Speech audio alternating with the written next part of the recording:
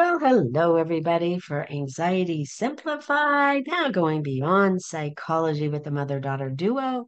I am Joanne Williams, a 30 year mental health professional, sharing the science of psychology with and Serraphine. So glad you're here today. it's really more of a mystic, goes beyond the mind's understanding and uses alternative energy healing. And today really is about me doing an actual session with Sarah. She did it with me two shows ago, so you guys can see that. I'm going to use some of my emotional energy work um, that I use in my practice, but from a uh, psychological perspective that I use in individual sessions or in my seminars or workshops. So we're going to use three techniques today. And I will um, kind of talk you through those because you know, maybe I will just show this real quick, like, because um, what I'm going to show you, I guess I'm not. What I'm going to do is three techniques. One is a is breath work that uses to calm somebody. Right. The second one, we include the breath work, but do it for a topic on some issue that you can feel is stuck in your body. So Sarah's mm-hmm. going to tell us that issue, and all we're going to do and, and these take a couple minutes. So these are not going to take very long, but we're just going to hold it, be present, and wait for a shift.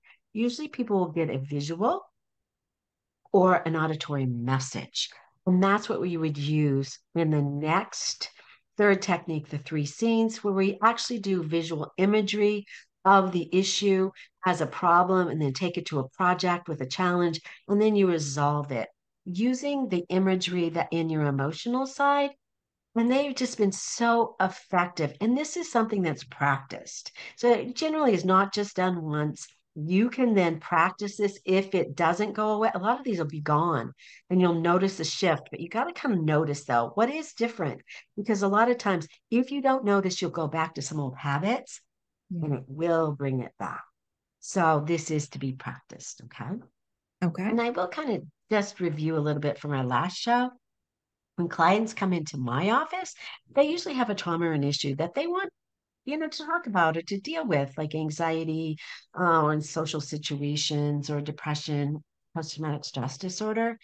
But most of my practice is more non-traditional. We talk. then after that, that then we start to talk some more about how this is energetic and how energy is an emotion that flows and to allow this emotion to flow through you because this is probably something stuck.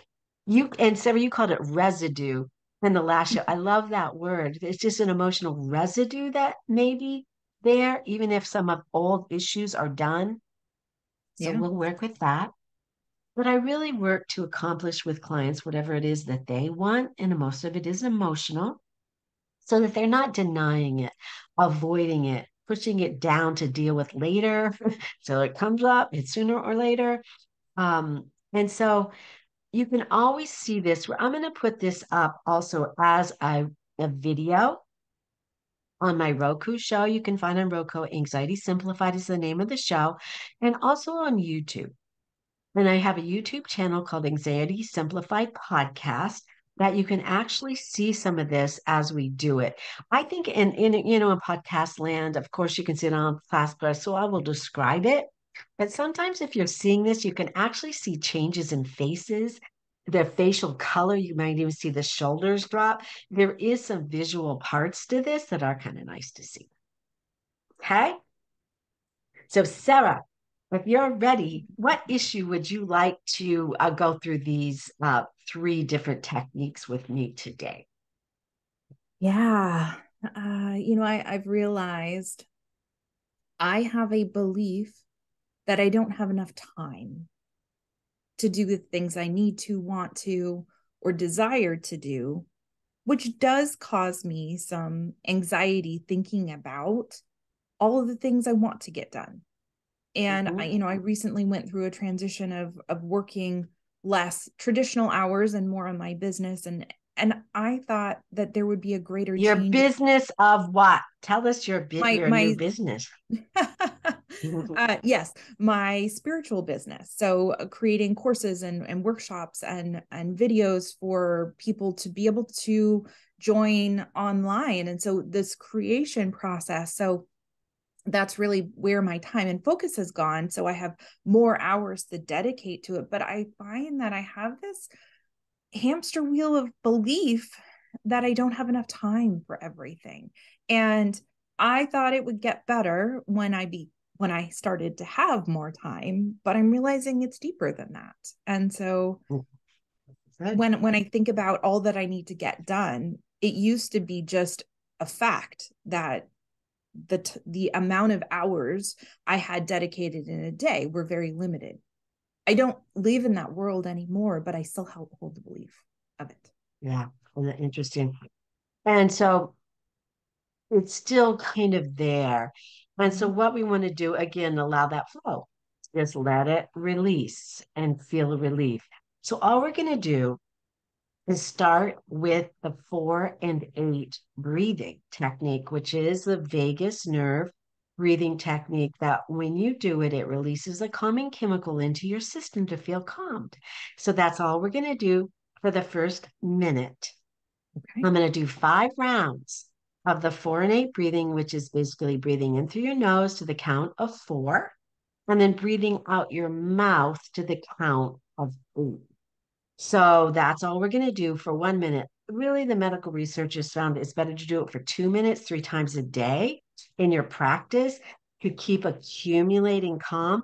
But for this, I find when I do this with client, you notice something even in one minute. So for today, and then it, we do it again in the emotional tension relief as part of it as well.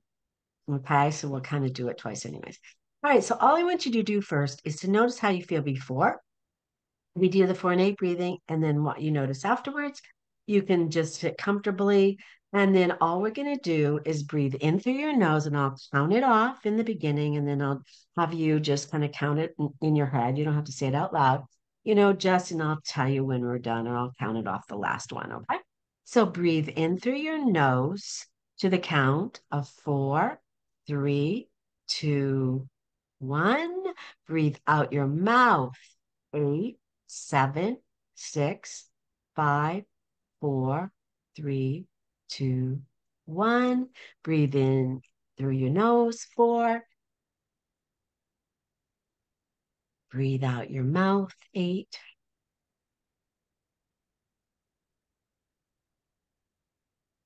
Breathe in through your nose, four.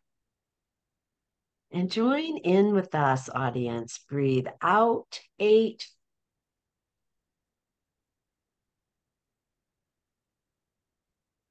Breathe in through your nose. Breathe out through your mouth, eight.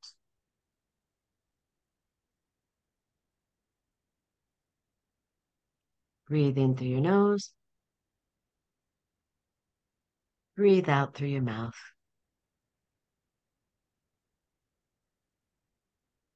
One more time. Breathe in through your nose. Four, three, two, one. Breathe out through your mouth. Eight, seven, six, five, four, three, two, one. And then just kind of notice how you feel and where do you notice it? in your body, your mind?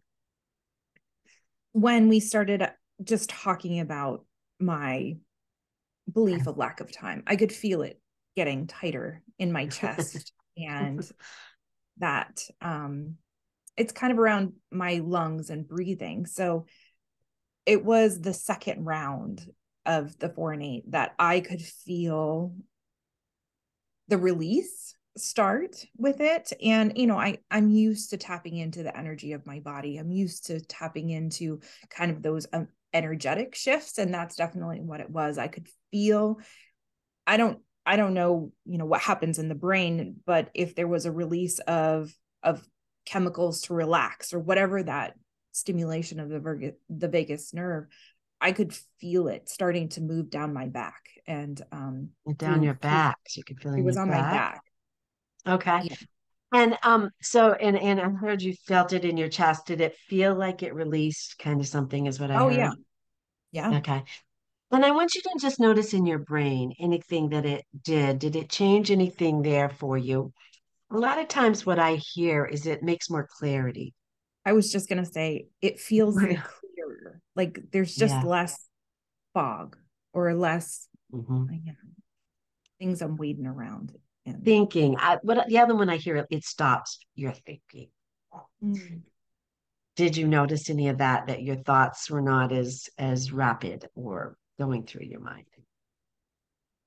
I did not, but thinking about it now, I could, you know, anytime I go into a relaxed state, I would say it feels like things just slow down inside of my head. And, and that mm-hmm. definitely holds truth. Um, but I didn't recognize it at the moment, but definitely the sensation of being relaxed and in that relaxed state, um, which is very easy for me to go into because I practice a lot um, and meditate a lot. So it's it it is a easy state for me to flip on, um, and it definitely felt like that's what happened. Good. And so, audience, you can do this. And what the medical researchers found is to practice this, like Sarah said, practice three times a day for two minutes. We just did it one minute and she could feel effects. That's what I do with clients. They always feel something. But this has been proven with medical research to help with with lowering your heart rate, your blood pressure, inflammation, seizure disorders, migraine headaches, um, and it, and it kept kind of going on and on. Sleep is another big one. Just to count the numbers as you breathe in and count the numbers as you breathe out and keep doing that. And I find it really helps even deeper sleep. So that's another one where you can use the four and eight vagus breathing. Nice. So now we're going to go into the second technique, which I call the emotional tension release. And basically, we're going to do the four and eight again on where you feel this belief kind of sounds like in your head, but about time and lack of time and not having enough kind of time. And can you identify? You probably already said your lung. Do you notice where you feel it in your body? Yeah, it's in my chest. I would say my chest. like my lungs, um, or like my rib cage. Kind of. It doesn't okay. feel like rib cage. You know, it's not heart. It's not that. It's it's more of. Okay. Hmm. Sounds lower like lower than your heart? No, I would say here. No. Okay. Yeah. So here is a little kind of above your heart then. Um yeah. okay. So what I'm going to have Sarah do is we're going to hold your hand, one hand on that area in your chest. The other hand, I'm going to ask you to ground it. Just put it down on something. So that's face down someplace. And we're going to do the four and eight breathing again for a minute. And what we're looking for or waiting for is a relief or a release of this feeling I'm going to call it tension in your chest. That is that belief about lack of time. But you can focus on that feeling in your chest of the lack of time, not enough time. And I want you to just stay present with it. And I think this is part of this practice that most of us really don't do very often is being present with a feeling mm. in our mm-hmm. body. And that's what this is drawing attention to as we do it is being present. We're not avoiding it. We're not trying to not deny it. We're staying with, and sometimes this can get a little uncomfortable, like anxiety can feel like, oh, I can't stand this. I don't want to do it. I want to avoid this. And when that happens, then when you bail out, you're actually reinforcing the fear. We don't mm. want to do that or the anxiety. We want to just stick with it, sit with it, and allow it. You know, it's going to calm you when you do the four and eight breathing now. So we're going to do the four and eight breathing. We're just going to allow that chemical to calm us. And at the same time, we're going to wait for the relief or the release, and you get a message. So I want you also a lot of times it's well sometimes people do get it in the beginning but most times it's more towards the end and some people can see things and see it visually and some people will hear a message and so i'm going to do this with you because i often see an image also so we can share whatever happens in this. I can actually almost start to feel this myself in your chest. And so all we're going to do is start and do the four and eight breathing. So start as you just stay present and breathe in through your nose to the count of four, three, two, one. Breathe out. Eight, seven, six, five, four, three, two, one. Breathe in through your nose as you four, as you just stay present. With this feeling in your chest about time, breathe out. Eight. As you just sit with this feeling, breathe in through your nose. Four. Noticing what's happened, a shift, waiting for a shift as you breathe out. Breathe in through your nose. As you just wait for a message, relief, or shift. Breathe out. And breathe in. And breathe out. Even if it gets a little uncomfortable, stay with it and wait for a little visual or a message, or you can tell me when you do feel it and breathe out, breathe in. The shift or breathe out.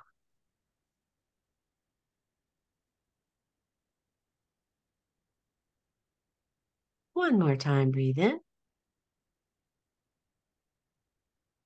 And breathe out.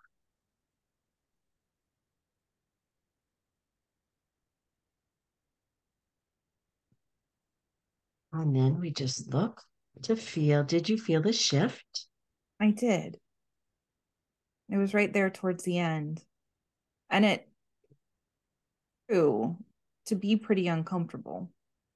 Yeah. To get a little you can feel it a little bit there. Yeah. Yeah. And it was it was a depth of I guess anxiety would be the word that I would use. Um, that is not a typical state for me um but i could feel that that rising but i was surprised that the message was more about disappointment than hmm. you know the actual i don't know if, if it was thing that like, we're talking about. It, it wasn't the exact thing. What was the message then? It, it was about disappointment. Like it was about not doing all of the things and that the feeling actually behind it was a feeling that of this would really be about disappointment and disappointing myself or disappointing others mm-hmm. and it's not really about the things and doing things it's about that fear of disappointment um feeling of disappointing yeah. yourself or others okay yeah so I didn't have any. I, I mean, we didn't talk about this before right now, no. so I had no idea what no expectations. Um, but the shift that I saw visually, I so I had a knowingness that they put okay for me uh, that it was about the d- disappointment. But then the visual that they gave me was showing my children when it was chaotic and they were young and three toddlers and just the busyness that started and they evolve the picture into them being teenagers and independent and le- and flying the coop and so you know that was more about the transition that happened and, and they gave me that visual um there at the end and transformed the chaos of when this started this lack of time belief um when i had three young children and evolved them into being the young adults that they are now and independent and they don't need me the same way that they used to. So that was the vision that can be a, a different disappointment or yeah, a different yeah. down too yeah, yeah well so now the third technique we're going to take that disappointment if you want to take it further yeah. and into the what is the three scenes. This is what uh, used to be called a uh, or a partial of NLP, a neuro linguistic program that also Jose Silva, Mindvalley, really is a technique that really we're going to use. And what we're going to do is three scenes. The first scene is the so called problem, and we're going to call it a problem right now about your disappointment. The second scene is seeing it more as a project, a challenge. I'll deal with this, the steps I'm taking to deal with it. And the third one is resolved. It's just done. You're finished. Okay. Okay. And again, this will take what it takes. And usually it's a, it's a minute or so. But you're going to tell me when you're done with the scene so that we'll move on. Okay. Okay.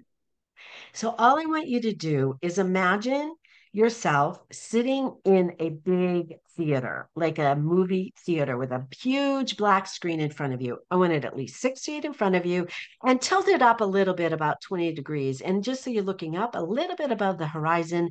And now I want you to project up onto the screen like a movie of your so-called problem of feeling disappointed, not getting enough done, seeing other people in this that are disappointed with you because of this. And I want you to make this even negative negative if you want to in that sense oh i can't i don't know how i'll never kind of just egg this up in a negative sense of what the way the pressures i'm hearing that you're putting on yourself. See this this projection of the movie that you're creating that a filmmaker is actually seeing of your problem but just see it up on the screen see it big see it bright and see that at this point and feel the emotions of it. See it as color, see it vivid, see that ickiness of it, feel it as, oh, I don't like this, I don't want to feel this, but, just go into it. Oh, I'm so disappointed with myself. I'm so, my kids are so disappointed. I can't stand it. I hate this problem. I don't want it anymore. I'm so frustrated with it. Just really just feel it, egg it up. And Yep. then as soon as you're ready, we will move to the second scene. Okay. And so the second scene, we're going to shift your view 15 degrees to your left. And we're going to see the, see the movie theater again. And in front of you, the big black screen. And you're going to project up on the screen. Now you're going to see this movie as it's no longer a problem. This is just a challenge, or this is just a project I'm going to take care of. And, You know, and I want you to see the steps that you are taking to be able to resolve this project or this challenge about disappointing others or this lack of time and never getting enough done. And as a mother and now an entrepreneur and all these things that you're just not getting done. See yourself doing it. See the meditations you're doing. See all the work you're doing on yourself see all the things, right? The steps that you are taking to resolve this. Okay. And just see that, feel that, see other people helping you possibly. And when you're ready, we shift to the third scene. Okay, I'm ready. All right. So now we go to again 15 degrees to your left again. And now you're going to see the big screen again in the movie theater. You're projecting the resolve of the, you know, and just seeing this as finished, done. And I want you to feel the triumph, the joy of accomplishing everything you need to in the time you need to. There's never a problem about time. You control time. You can do this. And I want you to really sense this, see this, feel this.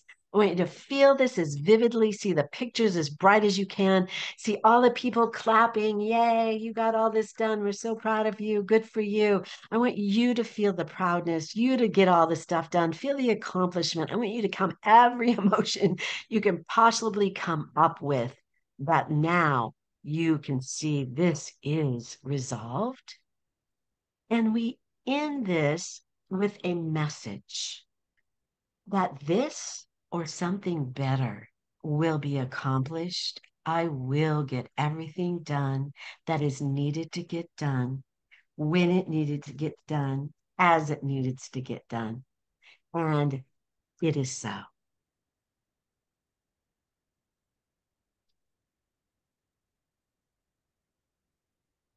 It's great. So, yeah, all right. And we're going to have a chance, it looks like, that Anna is going to be joining us, which she is our next um, guest. And so we're going to ask Anna on as we finish up this podcast that we are doing or show that we're doing together on some of the techniques that I use. So Sarah just went through three of the techniques with us, Anna.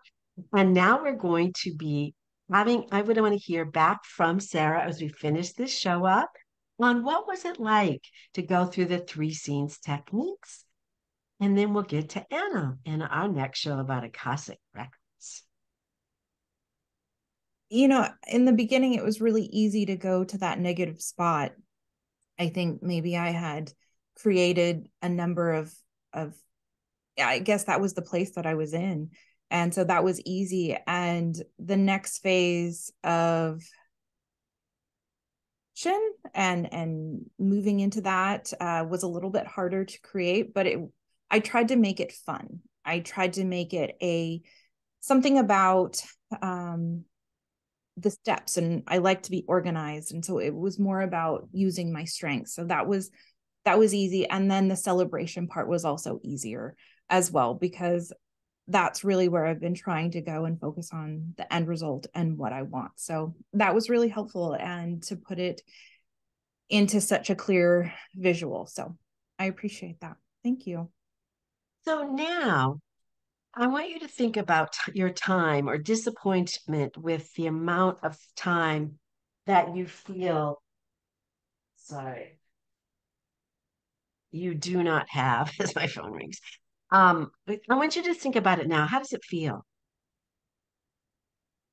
Different because it doesn't, I have more of an understanding of why I feel that way because it felt just kind of abstract before. Yeah.